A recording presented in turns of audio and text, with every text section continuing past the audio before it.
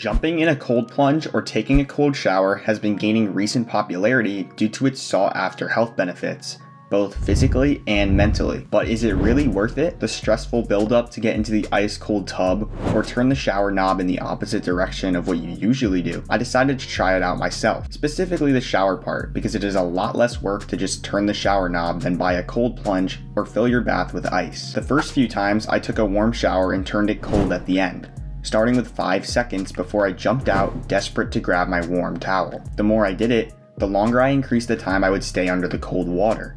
10 seconds, 15, 20. I worked my way up to a minute. By the time I was here, the cold water wasn't so bad. The stress of turning the knob wasn't so bad either. It got to a point where it was a habit and it just felt like routine. This is one of the main benefits I noticed. This mental discipline that these experiences can give you. You start by being petrified to do it, but after forcing yourself day after day, it becomes like clockwork. For me personally, this is probably the best thing I have gained from taking cold showers, simply the mental discipline it brings. But like I said earlier, people have talked about reaping the physical benefits too. For me, not much happened.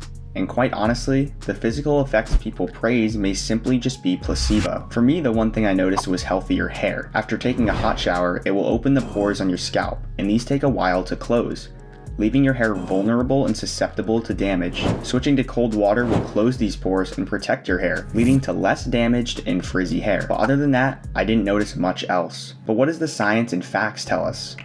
Well, for one, Cold exposure may boost our immunity. This shock your body feels after entering cold water stimulates leukocytes, which are essentially blood cells that fight infection. There was interesting data found supporting this idea, stating that in the Netherlands, people who switched to cold water called out of work for sick days 29% less than those who didn't. Another big one is improved circulation. When your body is hot, it will send lots of blood flow circulating around the body to keep your internal organs at a regulated temperature.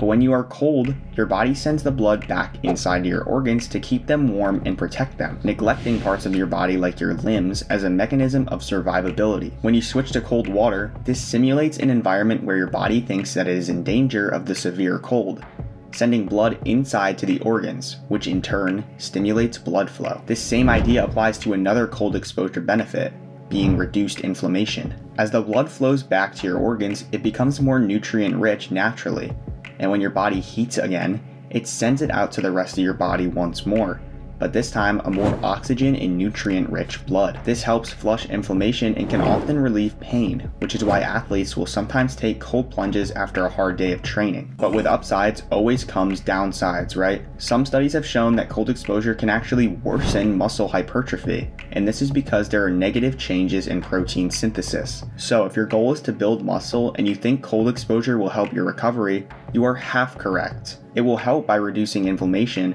but will also worsen your muscle hypertrophy simultaneously. Sudden cold exposure can also pose threats to cardiovascular health, mainly the sudden shock causing a heart attack. This is rare, but just be aware of this, and if you do decide to take a cold shower or do a cold plunge, start small and work your way up either using time or temperature. Based on the science, the pros of cold exposure outweighs the cons. Ultimately, the choice is yours though, and taking a warm shower has its own benefits as well. Decide your overall goals for your health and make the best possible decision for you. If you decide to take the cold route, maybe consider only doing it a couple times a week to gain the pros, but also to limit the cons. Let me know if any of you guys have tried cold exposure and your personal experience with it. Thank you guys for watching.